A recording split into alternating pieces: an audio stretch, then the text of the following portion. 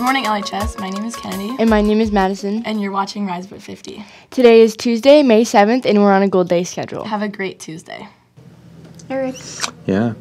have you heard about the new drink policy? No, you want to tell me about it? So, during first period, if you walk in late to Wendy, you either have to drink your coffee or your purchased drink there at the attendance office or throw it away before you go to class. Okay. So there's only a first period thing.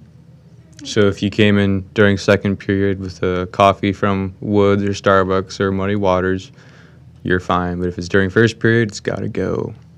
Your stomach or the garbage. Hey, Julian, we got it from a video. Hey, why do you look so sad? Is it because your cousin died? Yeah. And? Well, there's also that. I don't know. I just I love all my teachers right now, and I really want to show my appreciation. You know, like Mr. Richens. Well, you know, Julian, this week's Teacher Appreciation Week. Really? It's Yeah. Teacher Appreciation Week. Teacher Appreciation Week. Why be rude when you could put your teachers in a good mood? So, tomorrow during activity period, cross country will meet in room 107, football will meet in the weight room, and girls soccer will meet in the mat room. Girls swim will meet in the library, boys tennis will meet in the cafeteria, and girls volleyball will meet in the gym. Hey everybody, I'm here with Preston King and Brendan Kleindell from the boys baseball team. Can you tell me about your game today? Yeah, it's at 3 o'clock in Anacortes against Blaine Borderites. And what does this game mean? Well, it's a playoff game, so if we lose, we're done. If we win, we keep going.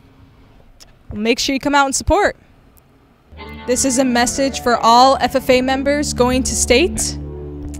The bus leaves tomorrow at 6 a.m. So make sure to get all of your permission forms signed and turned in. This is your last chance to do so.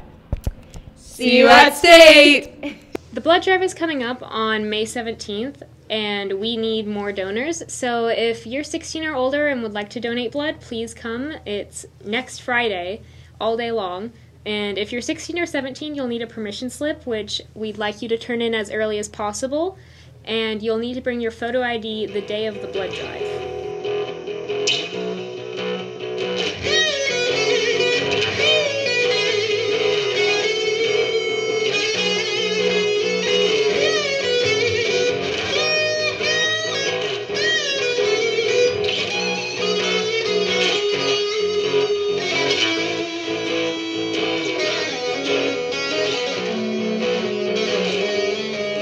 Rock.